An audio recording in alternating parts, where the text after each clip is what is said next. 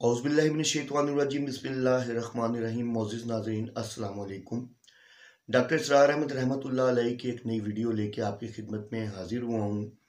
और एक आ, मैं रिक्वेस्ट कर रहा हूँ मतलब पहले भी मैंने आप लोगों से रिक्वेस्ट की है कि मैंने एक नया चैनल बनाया है जिसमें मैं कुरान का तर्जमा और तफसीर पढ़ा रहा हूँ और अहादीस का हम नंबर एक से लेके साह सत्ता को कोशिश करेंगे, अल्लाह जल हिम्मत दे, हम पूरी कंप्लीट करें तो सही बुखारी मैंने शुरू कर दी है उसके अंदर।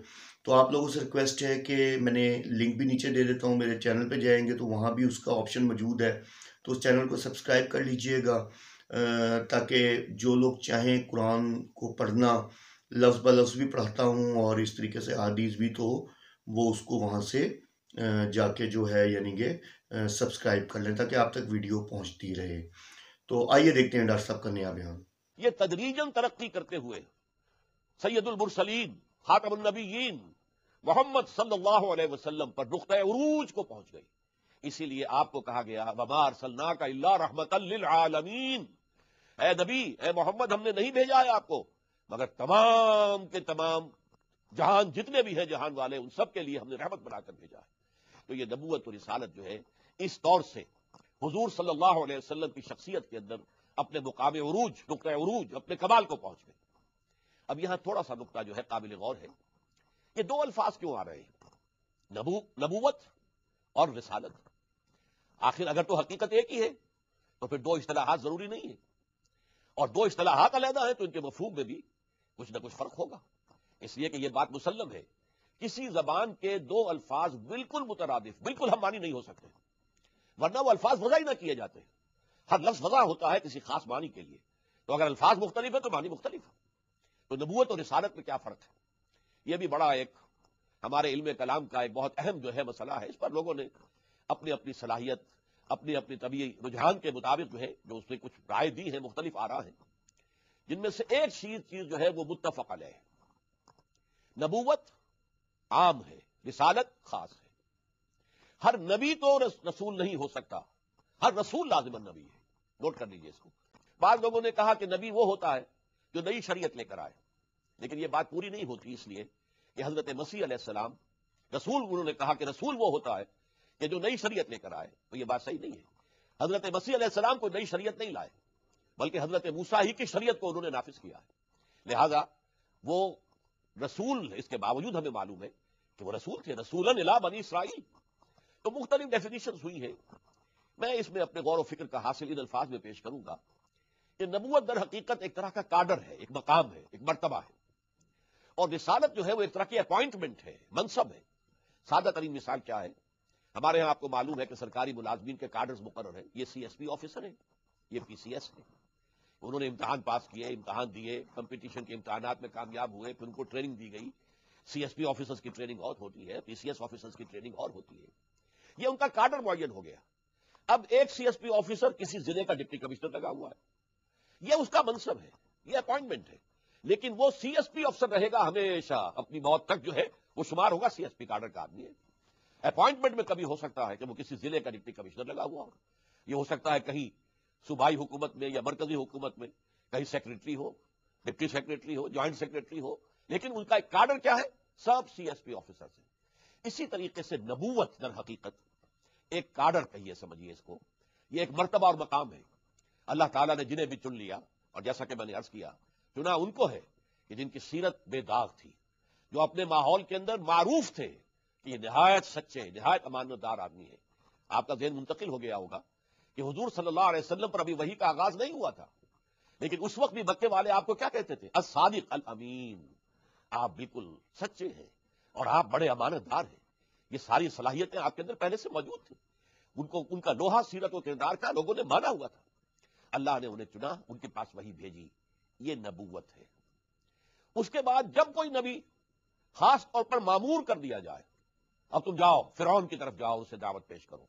इजहबिला फिरौन इन अब वो रसूल हो जाएगा। अब वो अल्लाह का नुमाइंदा होगा। अब वो अल्लाह का फरिश्तादा है। अल्लाह का नुमाइंदा है। इस एतबार से, या किसी को, जैसा कि मैंने अभी आयत आपको सुनाई, हज़रत ईसा को रसूल निला बनी इसराइल। हमने रसूल बनाकर भेजा बनी इसराइल के लिए। या इला आदिन अखाहुम हूदा, कौम आद की तरफ़ हमने उनके भाई, हज़रत हूद को रसूल बनाकर भेजा। वला समूदा, अखाहुम सालेहा, कौम समूद की तरफ़ हमने उनके भाई हज़रत साल को रसूल बनाकर भेजा। और ये अब जान लीजिए फ़र्क। गोया कि मेरी इस गुफ्तगु का हासिल यह है कि नबी किसी खास अपॉइंटमेंट पर नहीं होता। हाँ वो खैर की दावत देता है, लोगों को भलाई की तरफ़ बुलाता है। उसकी शख्सियत जो है, वो खुद रोशनी का एक मीनार होती है, जिस माहौल में वो रहता है। वो चमकता हुआ एक सितारा और दमकता हुआ एक चिराग है। लेकिन उसे खास हुक्म नहीं मिला है जाओ और तबलीग करो। ये मामला जो है, ये बारीक सा फ़र्क है।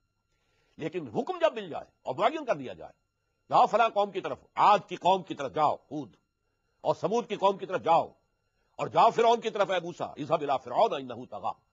अब उनकी अपॉइंटमेंट हो गई है। यही वजह है, देखिए, नोट कीजिए कि हुजूर ने फरमाया उलमा उम्मती का अंबिया बनी इसराइल, मेरी उम्मत के जो उलमा होंगे, उलमाए हकानी हक पर चलने वाले उलमा उलमा तो अहादीस में खबर दी गई है, उलमाए सू भी होंगे, दुनियादार मौलवी भी होंगे जिनके लिए वो इल्म और पढ़ना पढ़ाना सिर्फ़ एक पेशा होगा और कुछ नहीं।